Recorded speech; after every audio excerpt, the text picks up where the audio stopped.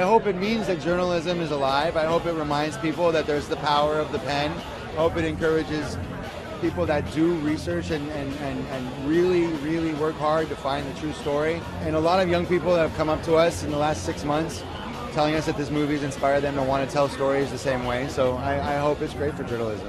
But I also know there's a story here, and I think everybody will hear about it. Do you think your paper has the resources to take that on?